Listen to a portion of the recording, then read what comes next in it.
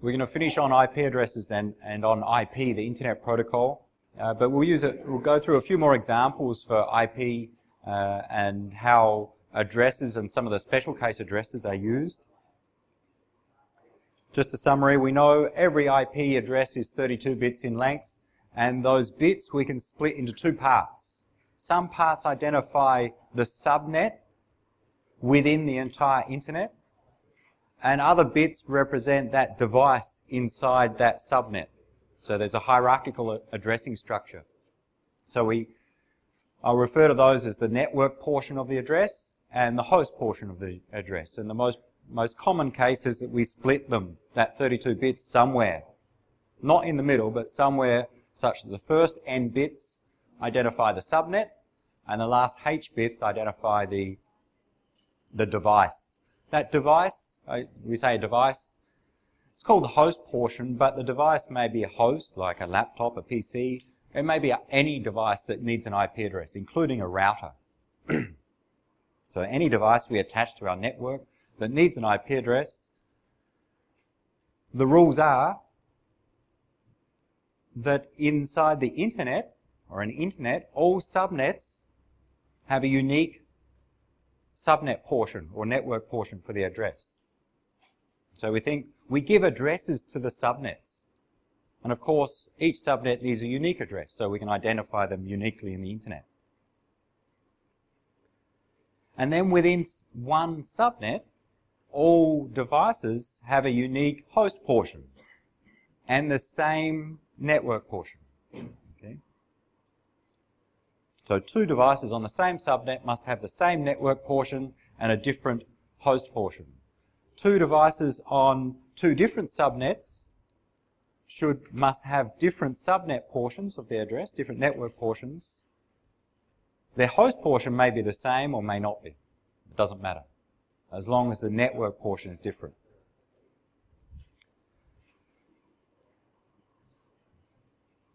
We know how to convert, or you need to know how to convert from dotted decimal notation to binary IP address and vice versa. To determine where the split is between the network and host portion, we use a subnet mask, or just a mask.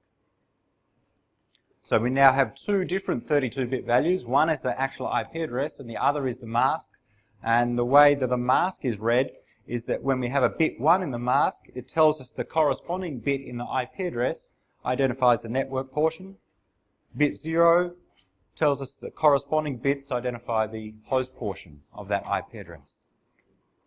So now every device that has an IP address also has a corresponding mask or a subnet mask.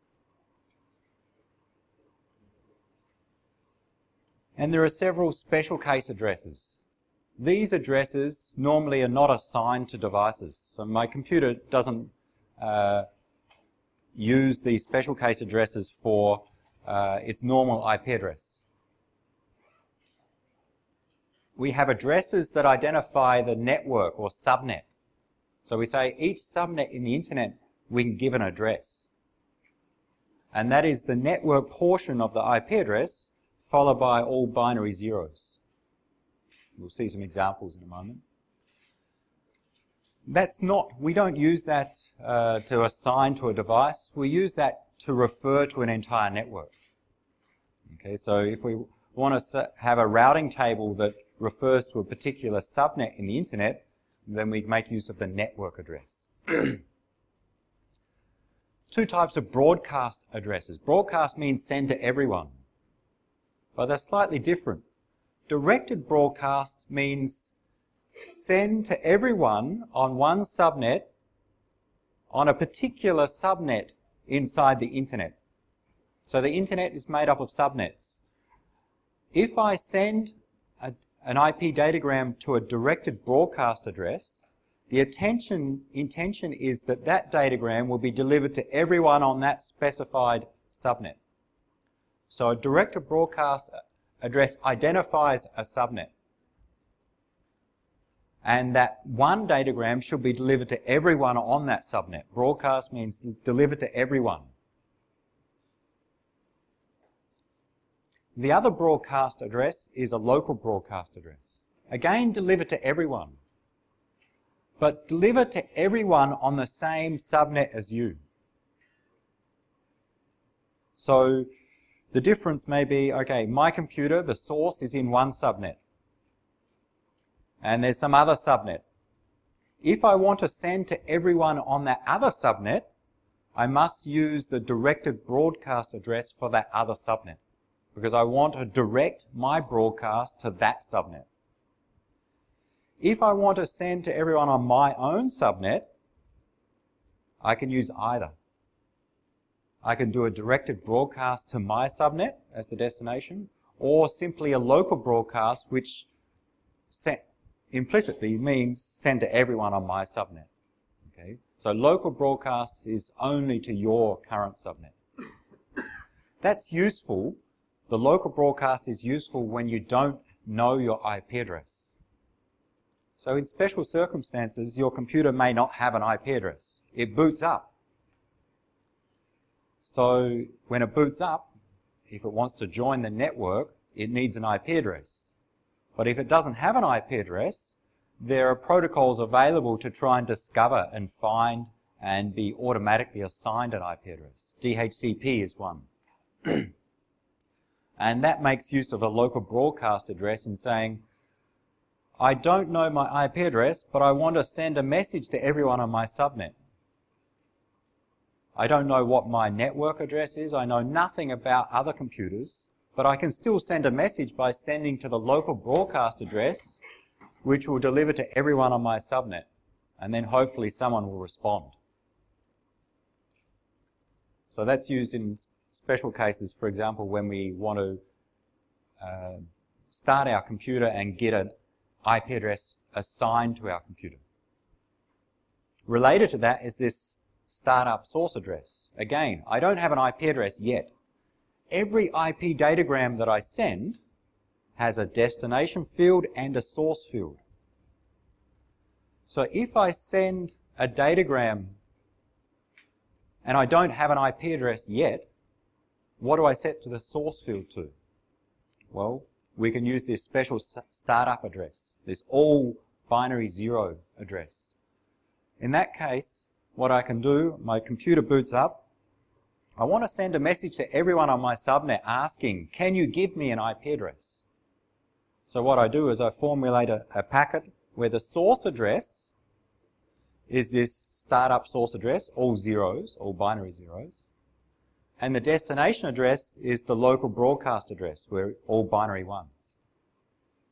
I send that packet, it's sent to everyone on my subnet, and if things are set up correctly, there'll be some computer on that subnet that may respond and say, here is an IP address for your computer. And then I can, or the protocol can set the IP address on my computer. So, again, special cases, not used uh, all the time, just used for some uh, specific purposes.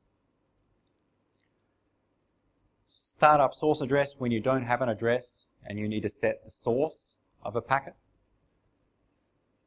Loopback address, send to yourself.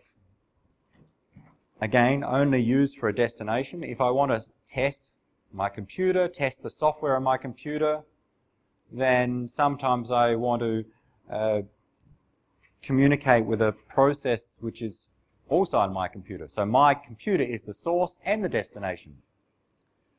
I don't need to know my real IP address. I can send a datagram to this loopback address. It starts with this sequence of 8 bits, 0 followed by 7 ones. In decimal is 127. If I send a datagram to that address, then my computer receives that datagram. In fact, it doesn't go out of my computer.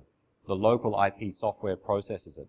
Loopback, you think there's a cable that comes out of my computer and just comes back into the computer. So what I send to this loopback address, I actually receive.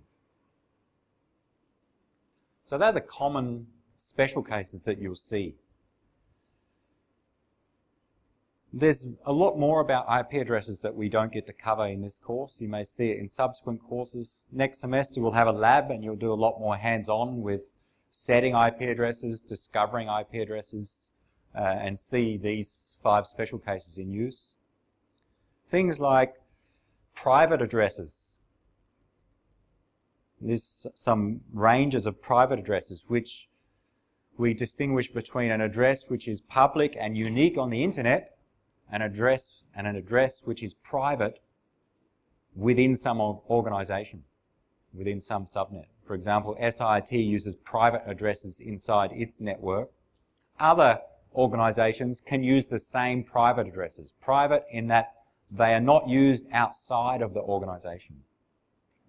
And all the complexities that come with that, like network address translation. You see a lot of these private addresses. I think when you look at your computer address inside your home LAN, inside SIIT, you see them in this range. We're not going to try and cover that. We need a lot of uh, time to, to discuss uh, private addresses. You'll see them next semester in, in two different courses. For now, for very for simplicity, we'll assume all addresses, all IP addresses we deal with are globally unique and public on the internet. There are always exceptions. So let's look at a couple of examples. And hopefully you've done them already. Now from this Internet Working Practice handout. You have it in your, your lecture notes. There are several sections. One's about classful addressing. And again, we're not going to talk about classful addressing, the old way that addresses were structured. We're moving to the, straight to the new way called classless. There are no classes. But still there's concepts of classful addressing we, we see in practice, but we'll not try and cover that in this course. So skip that section. This is an old handout. Then there's some questions about classless addressing, where I give you some information, like an IP address, and a subnet mask, and you need to answer some questions by filling in these block boxes, like write the subnet mask in dotted decimal notation. We're given it in slash notation, convert it to dotted decimal notation. And then determine the network, and here broadcast means the directed broadcast address. The number of hosts we'll, we'll see in another example. You should try these, these conversions and the relationship between the special addresses. I'll show you an example of one of them when we get to our network. These questions were related to that table. Try them.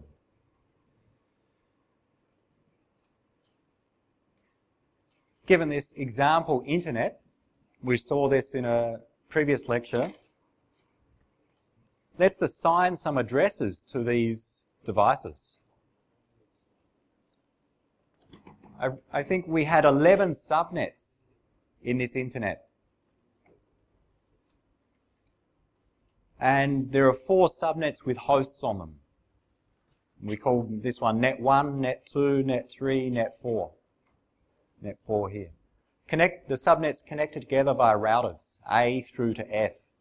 And the routers have multiple interfaces connecting to each subnet. For example, router C has an interface connecting to this subnet with H4 on it another one connecting to D, and another interface connecting to router A.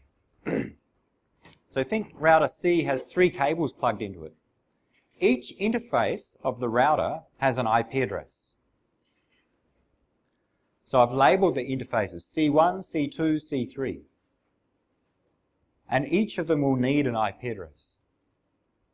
Okay, so we need IP addresses for the hosts, and IP addresses for each interface of those routers. The first task here was to assign IP addresses to those routers and hosts. And I gave you a set of tables which is the IP addresses for some of them partially filled in. And you need, need to complete the, the remainder. So for each of the six hosts, select the IP address, and then for all of the interfaces on each of the routers, assign an IP address. Always considering the, the rules that each subnet has to have a unique network portion. Each device inside a subnet must have the same network portion and a unique host portion. Where is the network and host portion? Well, it's determined by the subnet mask. The mask tells us where the split is between the network and host portion.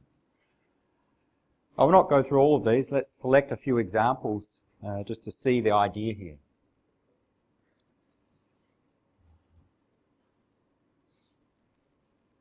Here's our network. First, I'll select uh, which one? So some information is given in these tables.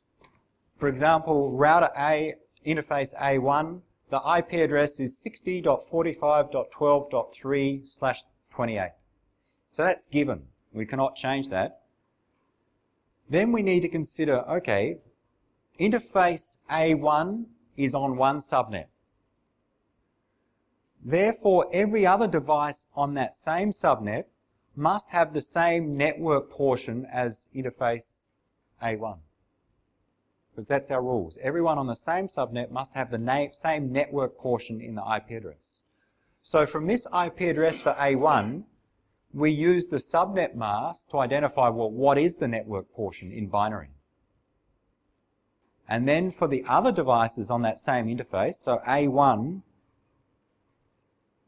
if we look at our diagram, A1, there's only one other device on the same subnet, H1. So what that tells us is the IP address for host H1 must have the same network portion as the IP address for interface A1. So let's look at that IP address and see what the value is. so that's the IP address for A1, just taken from the table, 60.45.12.3 slash 28.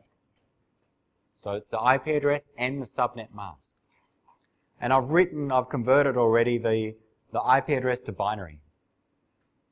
In the binary, we don't include dots. It's just a 32-bit value, but just so I can visually separate those four 8-bit values, I've, I've included the dots there so we can see, okay, this is 60, 45, 12, 3.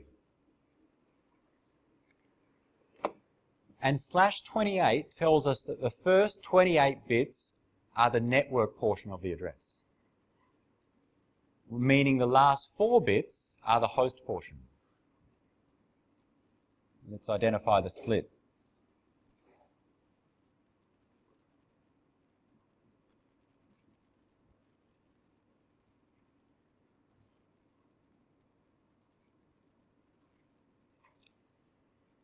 So the subnet mask tells us to the left of the red bar is the bits identifying the subnet, the network portion of the address, and the last four bits are the host portion. And our rules are every device on the same subnet must have the same network portion. So we know this is the address for A1. The address for H1 must start with the same 28 bits because that's the network portion. And the address for H1 the last four bits must be different than 0011.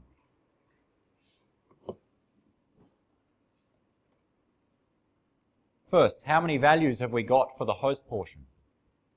How many possible values in total for the host portion? In, in total, for the host portion, okay, we have four bits, so we have 2 to the power of 4 possible values, 16 possible values but we'll go through and see which ones we can use and which ones we cannot. So,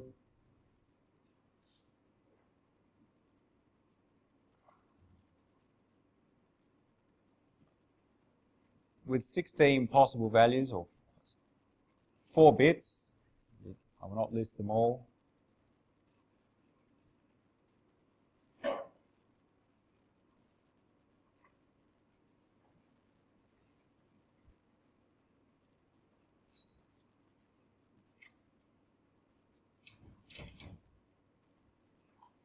16 possible values, okay, for a combination of four bits. One of them is used. So if we look at our current subnet, and our subnet had, we have our router A with interface A1, which has an IP address, and we need to select the IP address for host H1. We've got 16 possible values for the host portion. But we cannot use any of them. One of them is already in use. Of course, 0011, that's our router, okay, in this case. So if I want, thinking of assigning an IP address to H1, I cannot set the host value to be 0011 okay, because that's already in use. We have to have unique host portions. And then we have two of those 16 values which are special cases. The first one is the host portion is all zeros. Let's call it our network address.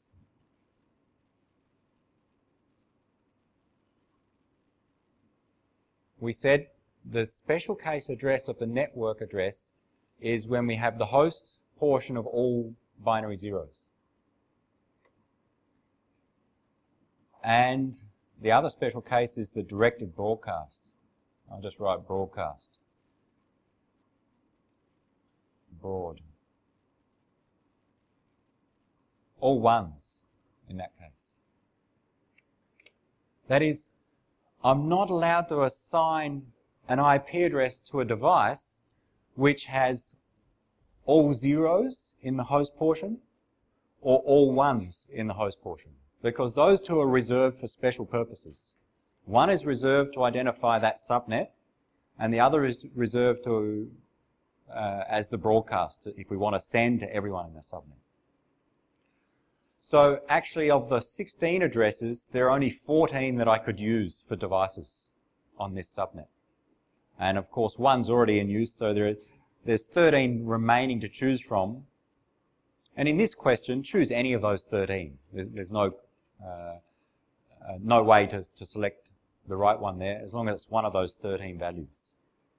For example, the first one. So if I choose this value for my host H1, then the address of H1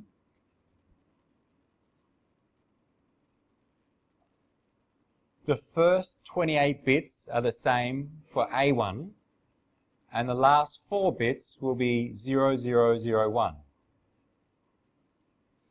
and convert to dotted decimal the first eight bits are going to be the same so we're going to get 60 the next 8 bits are the same, so we'll get 45.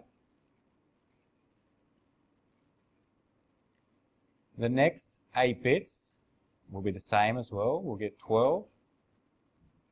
Then the last 8 bits, again, we'll have 0, 0, 0, 0, followed by 0, 0, 0, 1. These 4 bits, which is simply 1. Same subnet mask, slash 28 there's a possible IP address for H1, host H1. Didn't have to be 0001, it could have been 0010, and any of these other uh, values. It could not have been all zeros or all ones.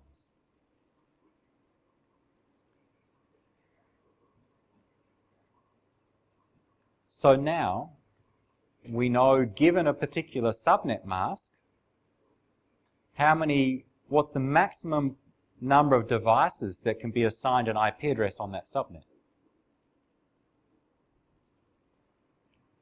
With this subnet mask of slash 28, there are four bits in the host portion, giving us 2 to the power of 4 or 16 possible values, but two of them are reserved.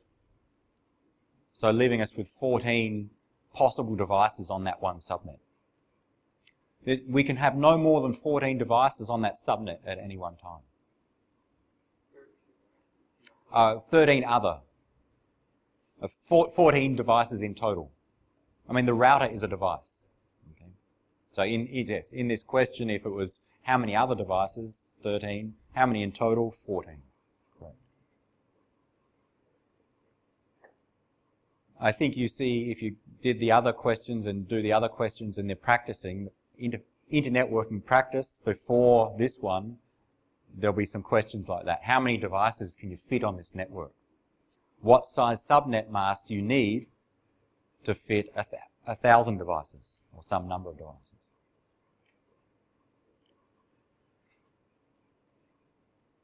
Any questions before we move on about the split? Yeah.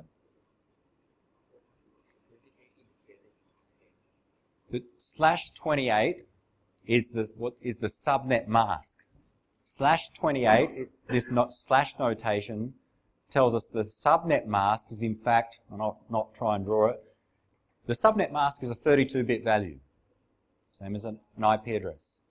Slash 28 means that that 32-bit value is 28 ones followed by four zeros. And what that mask tells us is that the first 28 bits of our IP address represent the network portion, and therefore the last four bits identify the host. Because every IP address is split into two parts. Part that identifies that subnet, and the part that identifies that device on that subnet. And if you check the IP addresses for H1 and A1 in binary, they've got the same first 28 bits and the different last four bits. Any other questions? In preparation for your quiz next lecture. Easy so far? No? What's hard? Converting decimal to binary, is that hard?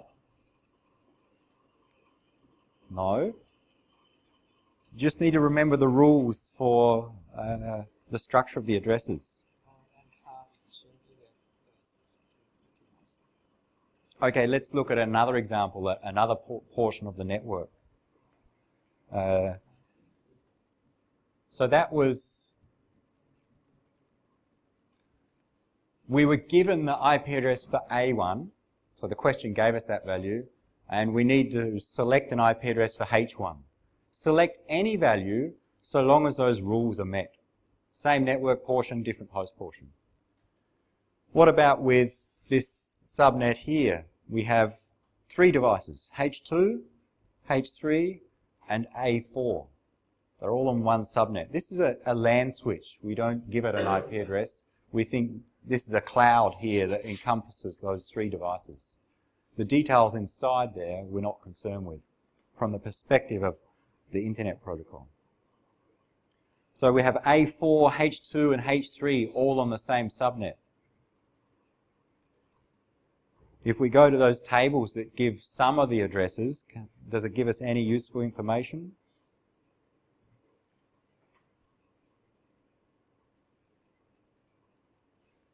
H2 and H3 in dotted decimal notation, the first two values are missing, but then 13.1, 14.1, no subnet mask. A4, the first two missing, 12.1 and a subnet mask of slash 22. First thing that we can answer. The subnet mask for A4 is slash 24. What's the subnet mask for H2 and H3? Slash 22. Same subnet. Okay, same subnet mask. So that's easy. So now we know that there's slash 22, slash 22 here.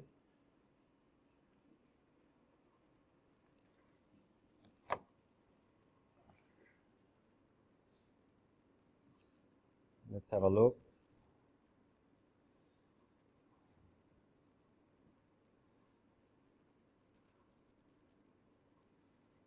Slash 22, the first 22 bits must be the same for those three IP addresses. Uh,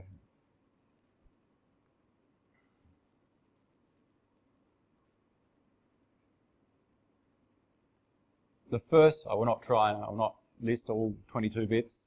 So the first 22 bits, if we think in dotted decimal notation, the first 8 bits, the second 8 bits, which is 16 bits, plus another 6 bits to bring us to 22. Uh, all right, let's try and draw to make it this clear.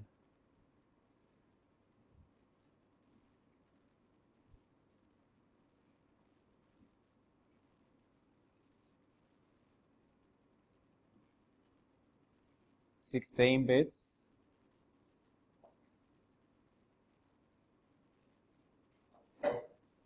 I just draw the dots to, to separate. There's our subnet mask, slash 22 in binary. 22 bits, 12 zeros. 22 bits, 10 zeros. Okay? What that means is that A4, H2, and H3 must have the first, same first 22 bits. What values can you use? There's H2 and H3. Well, let's look at 13, 14, and the other one for H, uh, for the A4 was 12. The third value in here. 13 in binary. 12, 13, and 14. So 13 is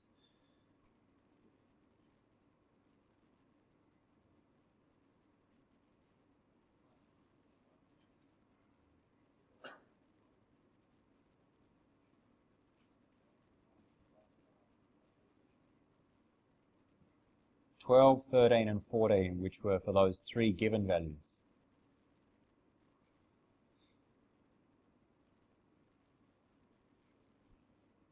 And they all finish with 1 in the last uh, value.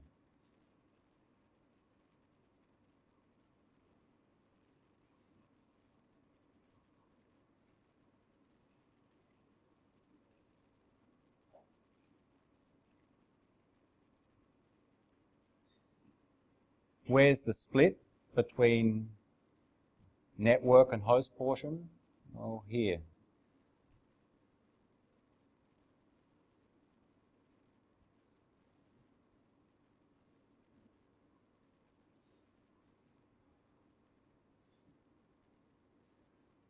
You need to select the first 16 bits. You're given the value shown here, which is 12.1, 13.1, 14.1 for those three different in interfaces on that same subnet.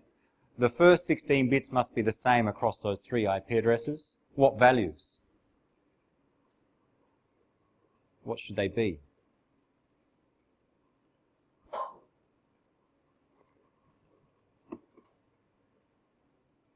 Well, yeah. Go. Have it, an attempt.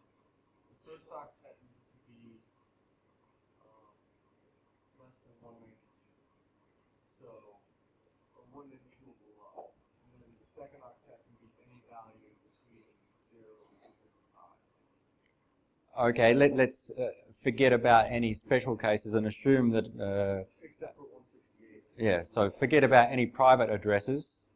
So I would give it address like 190, 190? Could it be 189? Yes. 187? The first bits could be almost any value. The almost is an important part, but there's no information in this question saying exactly what values they need to be. Okay, the question doesn't force you to choose specific values. You, you can select from a range of values here. Two conditions. The values across these three different IP addresses must be the same. Okay, that's the first one. The second one is they must not conflict with other addresses in the internet. Recall that those the bits that we choose there, those first 16 bits, correspond, plus these next six bits would be our network portion. That must be unique in the set of subnets in our example internet.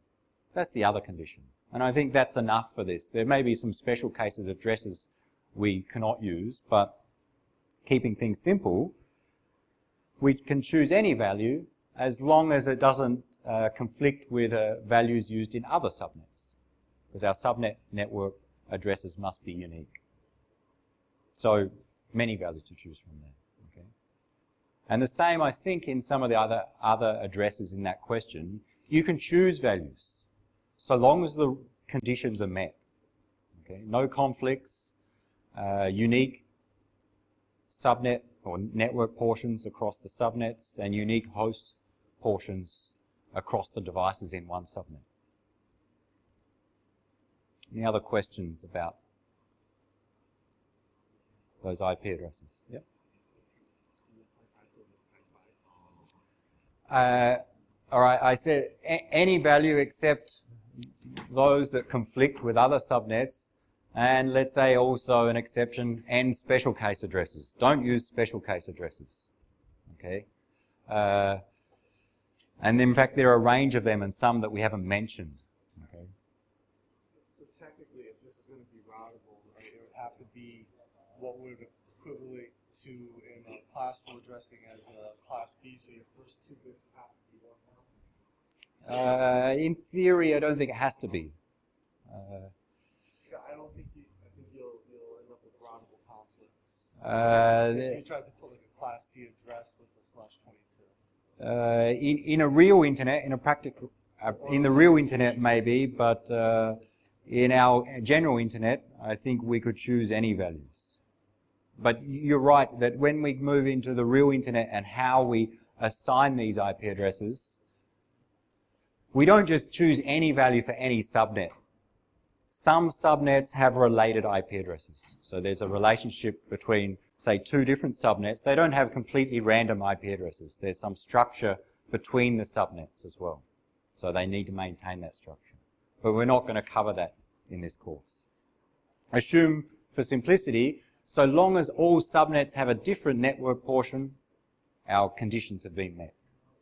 But you're right that we need to have, uh, for least prefix matching, uh, an appropriate address.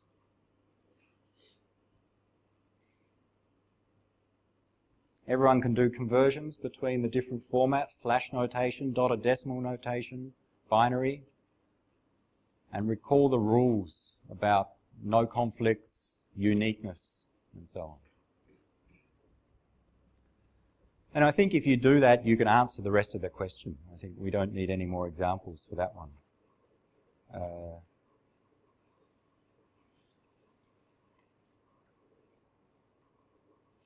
so if you if you're struggling or you, you don't understand or can't remember all the details, then with IP addresses, think always convert them to binary. Convert to binary, whether on paper or in your head, convert to binary and convert the mask to binary to find out where the split is in those bits. And then consider the rules like what is the network portion, what is the host portion, and then, if necessary, convert the binary address back to a dotted decimal notation. After a bit of practice, you'll start to see there are some shortcuts. For example, a subnet mask of slash 24 means the split is after the 24th bit, which is in the dotted decimal notation at the, the third dot. If a subnet mask is slash 24, it makes the, the conversions from uh, binary to from dotted decimal to binary and then the operations much much easier. But if, if you don't understand those shortcuts, then quite simply just convert to binary, find the split, and then answer the question uh, based on that address.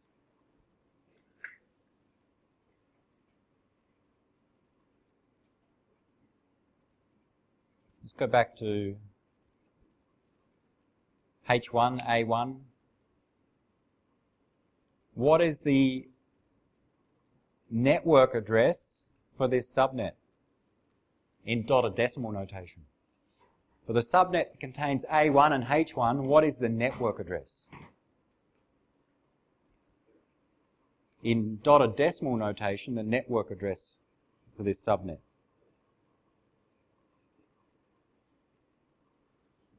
we just take the same first 28 bits, and the last four bits are this special case of four zeros. And then convert it to dotted decimal. And you get the special case network address. What will it be?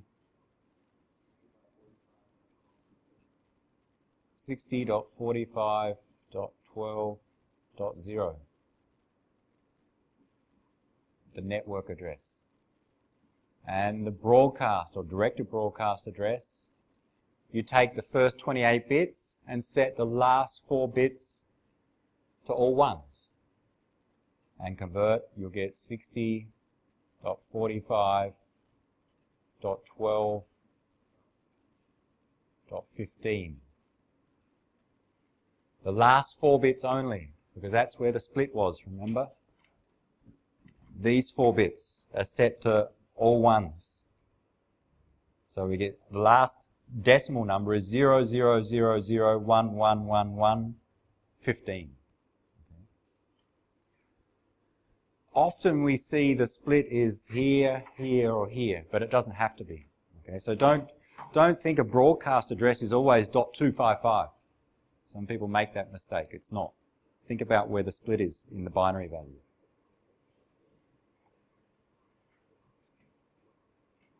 Any further questions on these IP addresses?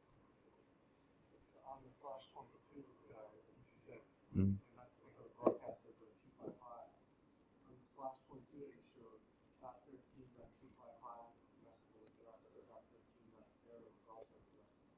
Yes. Okay, let's look at this one. It's a good example. Let's say we choose some some of those first 16 values. Uh,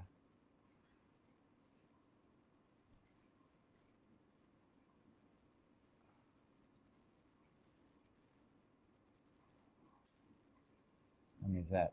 One more.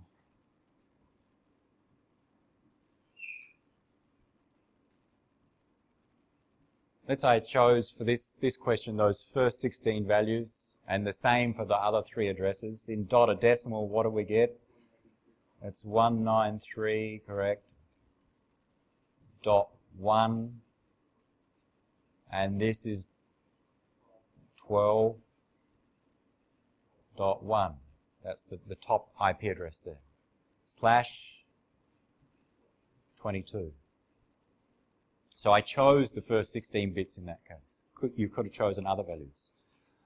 Another valid address on that same subnet, we must have the same first 22 bits and we could have another address which is 00 zero, and then 8 ones. The same first 22 bits, two zeros and then eight ones. In dotted decimal, what does that give us? Yep. If you have the same first 16 bits, then the next six bits are the same, followed by two zeros, so that there's 12 here. And the last bits, the last eight bits are all ones, giving us decimal 255.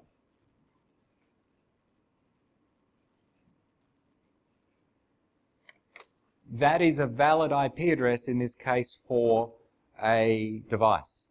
It is not a broadcast address. So don't always assume 255 means broadcast. Okay? Because here the broadcast address would have to have two ones here and another eight ones here. Have ten ones in a row. Okay, which would be what plus 15, is it? Yeah, 193.1.15.255 would be the directed broadcast in that case. Okay. So always look at the, the best way is to, to be correct, always look at the binary form and see where the split is based upon the subnet mask.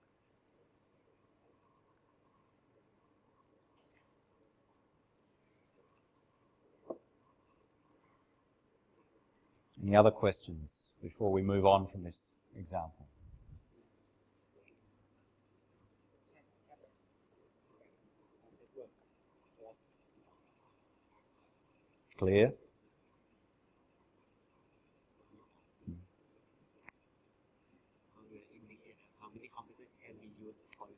Okay, how many computers could we use in this example? We look at the, the, the number of bits in the host portion. Okay, so on that one subnet, every device must have the same network portion. That is the same first 22 bits. So we have 10 bits that we can vary because every device must have a unique value amongst those 10 bits.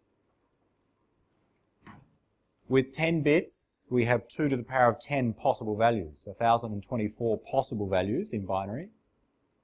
But two of those values are reserved for our special cases. The values of 10 zeros and the values of 10 ones. We have 1024 minus those two, so we have 1022 possible devices. So that subnet with a slash 22 subnet mask is limited to 1022 possible devices at one time.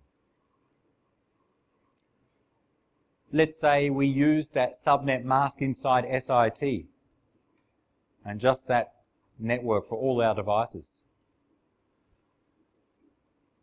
What happens when we have 1022 devices? Well, using the same subnet mask, we cannot add more devices. There's not enough IP addresses available.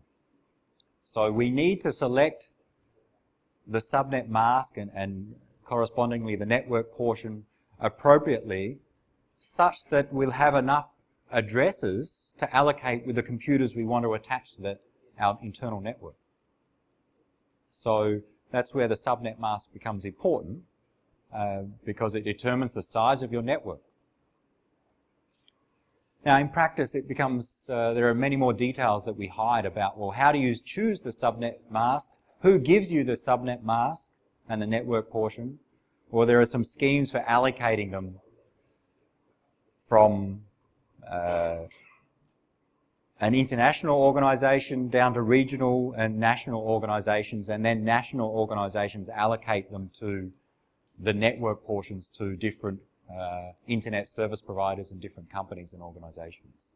So there's some hierarchy in how they're allocated so that A, they remain unique, and B, that they are um, allocated to make efficient use of the address space and make sure everyone gets large enough networks for what they need.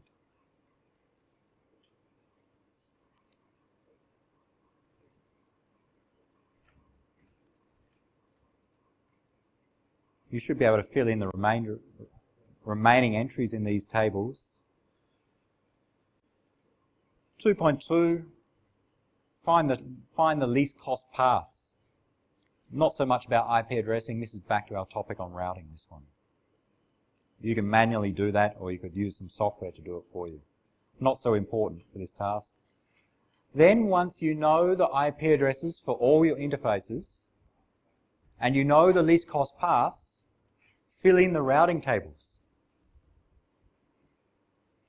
And I define some notation that you can use there. So for the routing table, note what is the destination and what is the next router, the address of the next router. Uh, so the star means any value. A wildcard in this case. In, in the destination column, star means any value. It's the wildcard uh, character, meaning if our destination is any value, send to the next router 60.45.12.3 with the subnet mask 28 slash 28. And then do that for the other hosts. The hosts are easy. And then do it for the routers.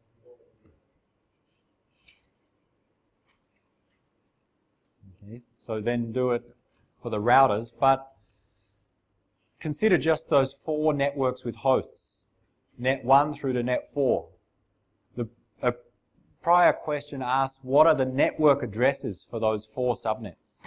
So determine them. For example, net 4 200.10.5.0 slash 24. and do it for net 1, 2, and 3. And for the routing table of the routers, the destination is one of those network addresses.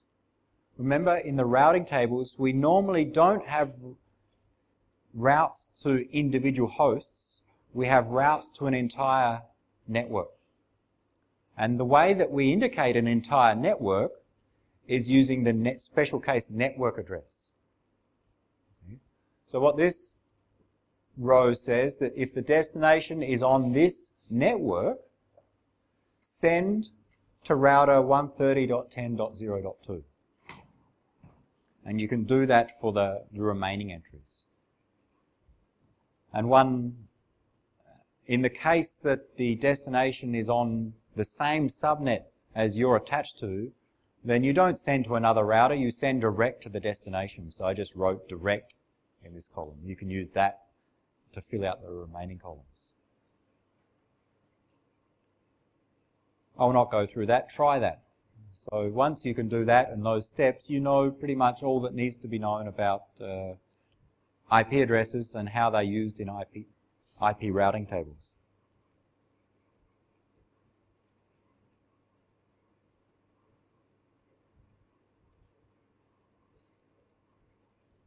Any questions on that practice?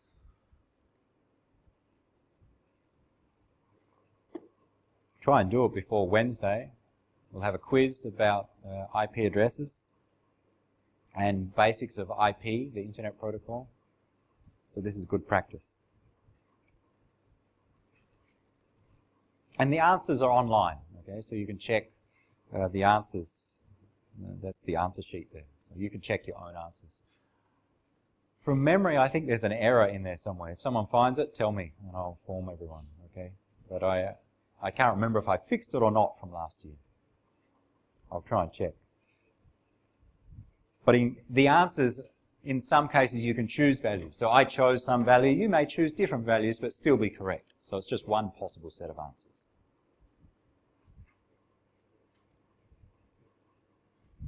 Back to our lecture notes. Finish on IP.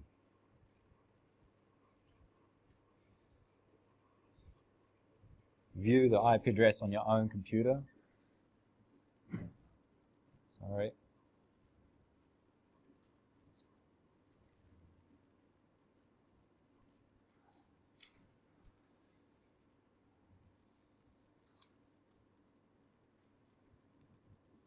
Do we have an IP address? Okay, you can view the IP address on your own computer using the software on your operating system. Say on Windows, if you click on the icons about network connections, you can see properties or details of the connection and it will show you the IP address. So mine, IP address, the internet address, 10.10.100.184. The net mask in dotted decimal notation is 255.255.240.0 slash, slash 20, I think, if you work that out. There are 20 bits, 20 ones, followed by 12 zeros.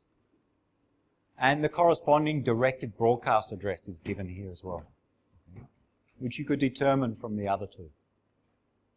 It's the first 20 bits are the same and the last 12 bits are all ones. And you could determine the network address as well if you wanted to.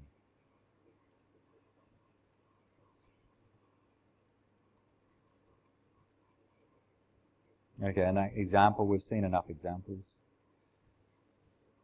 There's a few notes on class full addresses, the older style, and, and the concepts are still used. I'll leave it for you to have a look through them. We're not gonna, I'm not going to test you on those class full addresses. We've got limited time. Where do you get an IP address from? There's some structure. So in practice, and again, we won't go into details, but there's some way in which IP addresses are allocated. There's an organization called the Internet Assigned Numbers Authority, IANA. They uh, define the IP address space, 32-bit addresses, and split it up, essentially. And they delegate of those, in theory, 2 to the power of 32 possible addresses, they split them up and delegate authority to regional uh, organizations to manage parts of that address space. So there's the Asia Pacific Network Information Center, and then within there, there's the Thai Network Information Center. They have an office in, in Science Park at Rangsit. And then within there, within the country, this organisation allocates the IP address space for Thailand to different organisations, companies, uh, universities, government organisations. And what they normally do is they assign from some portion of addresses network addresses and the corresponding subnet mask to those organisations that want to connect to the internet. Typically large organisations, large companies, internet service providers, you and I, as the end user, don't go to this organisation to get an IP address. Our internet service provider does that and assigns us one of their IP addresses when I connect from home, for example. Same as SIIT. SIIT's public IP addresses come from Thammasat University. And TU uh, got an assignment from, most likely from uh, the Thai Network Information Center. So there's some arrangement in, in how you get IP addresses. Within an organization, once they've been assigned a network address, they're free to assign, to use that network address for the individual devices in whatever they, way they wish. And they can do that manually, go to every computer and type in the IP address, or more commonly use protocols to dynamically assign IP addresses to the devices. DHCP as an example. You'll see DHCP in use in the lab next semester.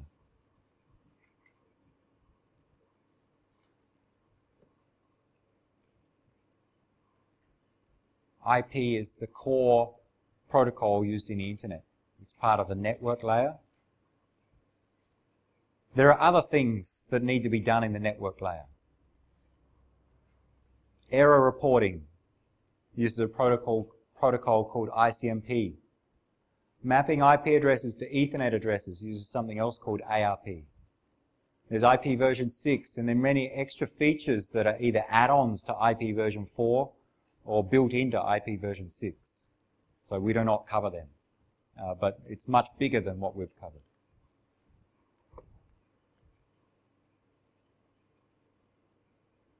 I keep saying it. Next semester you'll see some more detail.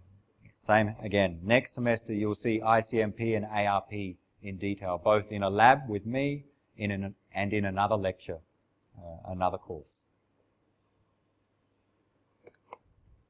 Data communications and networking is, is a large topic. We cannot cover it all in one semester, so we split it across several courses.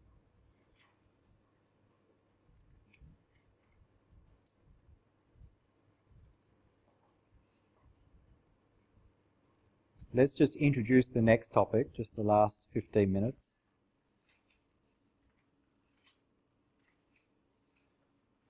Two topics remaining this semester.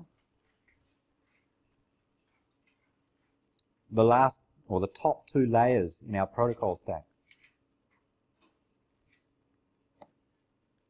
The transport layer and looking at transport protocols.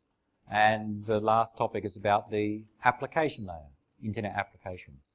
And these two we go through quite quickly. Again, we've focused more on the, the lower layers, uh, but over the next uh, semester and even beyond, you'll see more applications or more, more examples of transport protocols and internet applications. The next topic. This is just a taster. Transport protocols are used end to end between our end devices, laptop to server, for example. The intermediate devices don't play a role in those transport protocols. let's look at some general concepts of transport protocols today.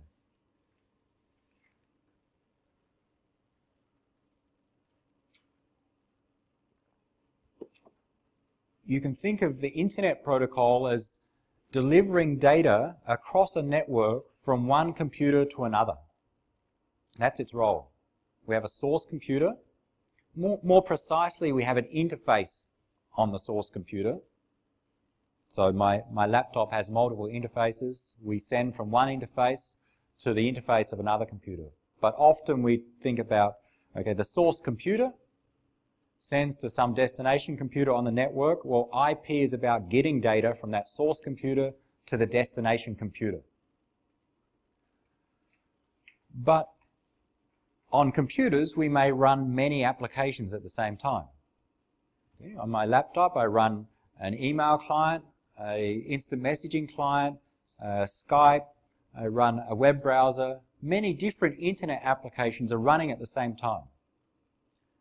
IP is about getting data to and from my computer. Moving up to the transport protocols, they're now about getting data to a specific application on my computer and doing so in, a, in an efficient manner. So now we're about sending data between applications, or if we look at the software, uh, an application process. So some process running on your computer. On the source and destination hosts. So my laptop communicating with a Facebook web server. My laptop may be the source host. The Facebook web server is the destination host. My Firefox web browser is the application process which is communicating with the Apache web server on the Facebook destination host. Okay, so now we're talking about not computers communicating, but applications on those computers communicating. And as I said, transport layer and above is between the end hosts. The intermediate devices, the routers, the switches, do not have a role in the transport protocol. So we talk about end-to-end or host-to-host communications. There are several different transport protocols used in the internet. The most commonly used one is TCP. We're going to spend some time looking at TCP. So that's, I don't know the split, but maybe 80 or 90% of the data sent across the internet using TCP. It varies. The next one, or the next oldest one, is UDP. And then there are others, not just these four, but there are other smaller ones which are used for very, uh, uh, very specific domains, like SCTP, uh, DCCP. there are a few others used, say, in mobile phone networks uh, for very special cases. But the main two transport protocols are TCP and UDP. There are others. We'll focus mainly on TCP because that's the main one used in the internet. They do different things. Transport protocol, uh, the transmission control protocol, TCP, notice the transmission control protocol, not the transport control protocol. TCP does many of those things that IP doesn't that we often need for our data transfer. I want to get data reliably from one application to another. IP doesn't provide any form of reliability. IP, we just send a datagram. If it gets to the destination host, that's great. If it doesn't, IP doesn't care. It will not try again. But we know for for effective data communications, we often want reliability. If I download a file, I need to receive 100% of that file for it to be effective. If I download and there are errors in the received file, then I may not be able to open it. It's of no use to me. So TCP provides some features that uh, provide that reliability by having connections. Before we transfer data, we set up a connection between source and destination, negotiate some parameters in preparation for the data transfer. We have error control. In TCP, we send some data, we wait for an ACK. If we receive the ACK, we send more data. If we don't receive an ACK, we may retransmit the old data. So we have some ARQ mechanism. We have flow control. Remember, stop and wait flow control sliding window flow control, those mechanisms are also implemented in TCP. And again, the idea is to make sure that the sender doesn't send too fast such that we overflow the receiver. We have a uh, an old an old computer communicating with a very fast server. It's possible that that fast server sends data very fast, and the old computer, when it receives, takes a long time to process, and eventually fills up the memory on that old computer, and we start to lose data. So we implement flow control in TCP to avoid that. And congestion control. Don't overflow the internet. Don't cause congestion at the routers in the network. That's what TCP tries to do. So that if many people are sending at the same time, what TCP will do is try and make the sources to slow down so that we don't get congestion in the network. Each of those features, each of those four features are quite complex. In this course, we'll introduce how to set up a connection, a little bit about error control, the others we will not cover. They're very important and they impact upon how TCP performs, but they need uh, three or four lectures to, to cover them. You may see them in internet technologies and applications. So TCP is quite complex. The alternative, the other common one, UDP, User Datagram Protocol, doesn't do any of that that TCP does. It does almost the same as IP in that there's no connection, there's no reliability, no retransmissions, no flow control, no congestion control. We just send the data. So it's very, very simple. We just take the, the data, put it in a, a UDP datagram, and then send it. If it gets there, good. If it doesn't, too bad. One common thing about all of these transport protocols is they use the same addressing mechanism. And the addresses that we introduce are called ports or port numbers. So let's just today introduce ports, give a few examples of port numbers to finish this uh, lecture. Think of IP addresses. IP addresses identify computers on the internet. If someone wants to send to my laptop, they need to know my IP address. So assuming they know my IP address, they can send an IP datagram to my laptop. But on my laptop, I'm running several applications. My web browser, my email client, my instant messaging client. When someone wants to send, they don't want to just send to my laptop, they want to send to one of those applications. How do I identify which application the data must go to? A port number. So port numbers are used to identify applications on computers. IP addresses identify computers in the internet. Port numbers identify applications on computers.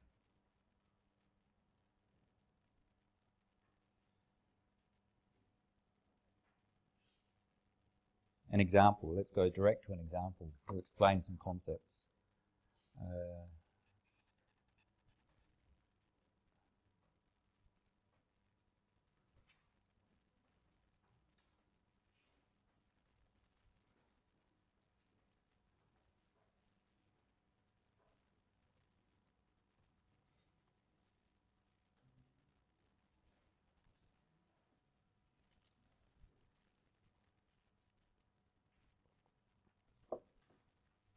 open my browser.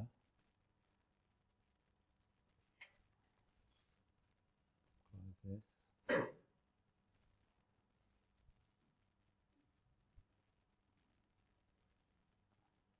And I'm in my browser, visit a website, my favorite website, if I can type correctly. And your favorite website, no visit a website on the browser. Okay, so what happened is that my, and I'll just refresh to make sure it wasn't in the cache. So what happened is my browser, the application on my computer, communicated with an application on some other computer. That other computer is identified by the domain name ict.siit. In fact, with some magic, that domain name actually corresponds to an IP address.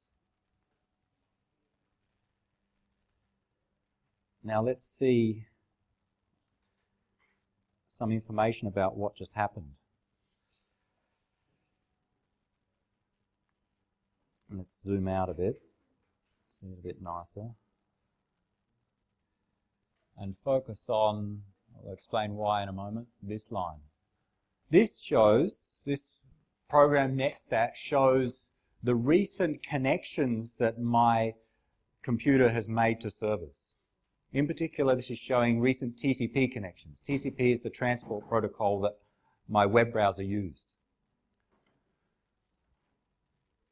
So my laptop communicated with the ICT server. My laptop IP address is 10.10.100.184. We saw that before. I know, because I set up the ICT web server, I know that the ICT web server's IP address is 203.131.209.82. You could find that out other ways, but that's, trust me, that's the IP address of the ICT server, a computer which is down on the third floor. I ran Firefox on my computer and it communicated with a web server application on the ICT server. The web server application is called Apache, Apache Web Server. It's just a piece of software running. Now, how did the application communicate, uh, application on my laptop communicate with the application on the server? Well, they use port numbers to identify which application they want to communicate with. And the port number in this program is shown after the IP address. So my browser used port number 39380 and the Apache web server software used port number 80. So these are addresses that identify applications. Some of them are common or well-known numbers. I think you would have seen port number 80 in a number of examples. Port number 80 is the number normally used by web servers. So when I want to contact a web server, I would set the destination IP address to be that of the actual computer, 203.82, and I would also indicate the destination port number, saying, I want to communicate with this computer and specifically with the web server application on that computer because port number 80 identifies a web server. We see I have made some other recent connections. What's port 443? It, it's secure web browsing. So HTTPS in, in the uh, address, the server uses port number 443. So common servers use common port numbers. Port 80 for web server, 443 for a secure web server, uh, port 22 for secure logins, email as port 23, and so on. There are many different port numbers. We'll see more examples. But note that port numbers identify applications now. What port number does my web browser use? 39380. Where did that come from? Uh, it's a port number. Where did it come from? So 30, so 80 is HTTP. And because your web address is NATed, it's, it's augmenting the, uh, the port number with, uh, with an uncommon one. What about this one then? I connected to a web server, different port number, 48362.